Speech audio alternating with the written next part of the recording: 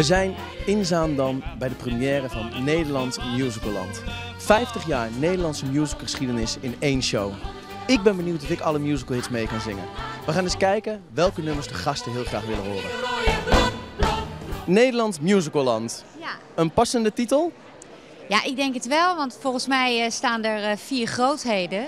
Waaronder mijn vriendinnetje Joke de Kruif. En die gaan eh, de pareltjes uit de musical eh, bezingen. Er zijn zo ongelooflijk veel Nederlandse producties hier ontwikkeld. Kijk maar de Cyrano, Drie Musketeers, Willeke, Carly, 1953 en ga zo, eh Petticoat.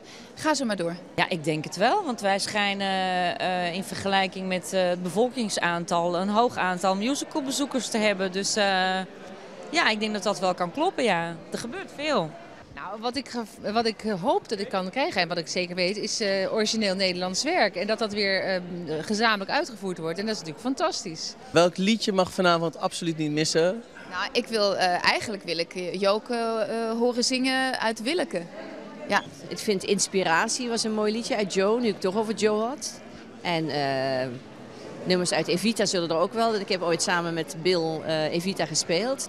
Ja, ik, ik hoop dat er iets uit Heerlijk Duurt het langskomt. Eh het is over. Dat blijft voor mij een van de mooiste liedjes. Ik weet, ja, ik weet dat stiekem al. Ik weet dat Joke eh, inspiratie gaat zingen. Dat, dat zingt ze zo ontzettend mooi. Ik hoop eigenlijk ehm, dat Bill opnieuw iets gaat zingen uit eh, Cyrano. Want dat vond ik toen best wel indrukwekkende muziek. Oh, wat moeilijk. Ja, ik denk toch wel Annie Schmid liedjes. Dat denk ik wel, dat, die moeten er wel in zitten. Eh, inspiratie.